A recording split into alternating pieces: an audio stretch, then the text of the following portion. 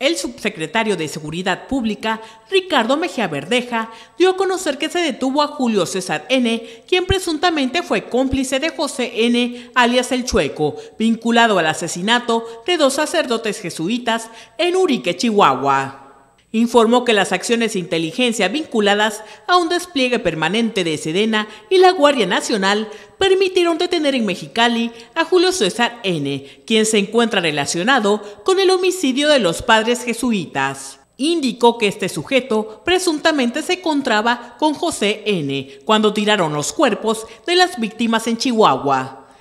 Informar que las acciones de inteligencia, subrayo, acciones de inteligencia, vinculadas a un despliegue permanente de Sedena y la Guardia Nacional, permitieron que en coordinación con las fiscalías de Chihuahua y Baja California se detuviera en Mexicali a Julio César N., quien se encuentra relacionado con el homicidio de los padres jesuitas Javier Campos y Joaquín César Mora, así como del guía de turistas Pedro Eliodoro Palma.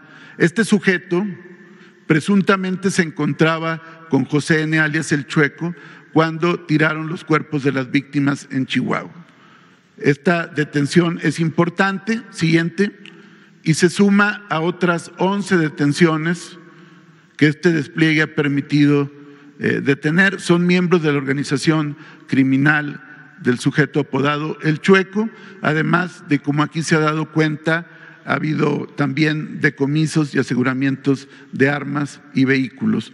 Entre el 25 de junio al 5 de julio, elementos de Sedena y Guardia Nacional con las fiscalías han logrado detener a estos 12 personas. Con información de Marisol Mateos, Noticias TVT.